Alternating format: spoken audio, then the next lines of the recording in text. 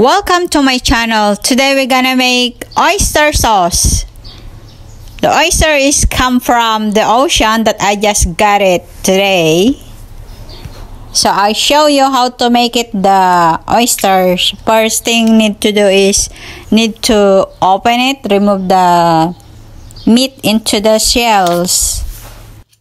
I'm trying to open the oyster sauce on my way by using the knife of oyster sauce, just pointing at the bottom and push it hard a little bit so that could be easily open it and get the meat inside of the shells. I almost open all of the shells and ready to cook for our oyster sauce. Be careful when you're opening the oyster shells because it's very rough and sharp so that you will not be hurt your finger when you're opening this one use a towel to hold it and easy to grab it and pull because it's, it's slippery also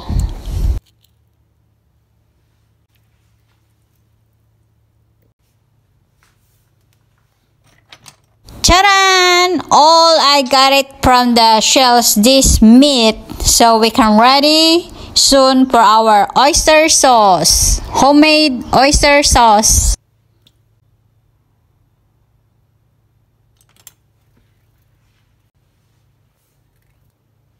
Looks yummy. Actually, we can eat fresh this uh, oyster direct from the shells but I prepared to cook the oyster but this time we need to cook oyster sauce. So come and join me how to prepare and cook this uh, sauce that we can use uh, for our dish for cooking. First thing we need to do is stir fry the onion and garlic and add the oyster meat. Stir for a little bit only like one minute something like that to have more fragrance only and get the aroma. I just added the soy sauce stir it well until it's gonna be mix everything into the sauce.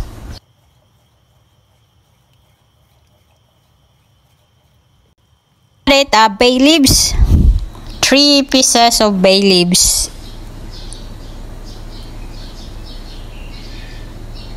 and continue stirring. Now time to dissolve the cornstarch into the cold water so that it could be added into the sauce and will become thickened.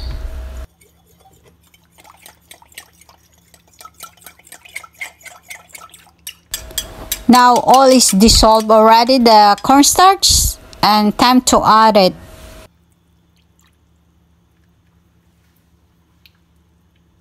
We need to add into the sauce slowly and need to continue stirring to avoid lump or lumpy. It must be slow fire so that it will not burn easily.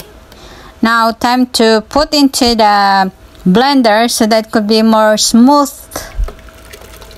Will be blended well and then we're using the sieve to remove the particles, small particles. Slowly pour into the sieve. After this, we need to continue simmering so that can be get the consistency of the sauce the one that we like it or depends how thickened you like it the oyster sauce. Something like that.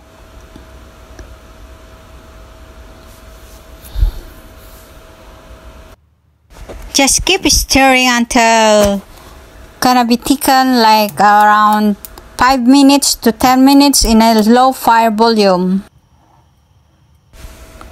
This is the texture that I just made it and look how consistency and it's beautiful the color perfect for making or cooking for the dish this uh, oyster sauce.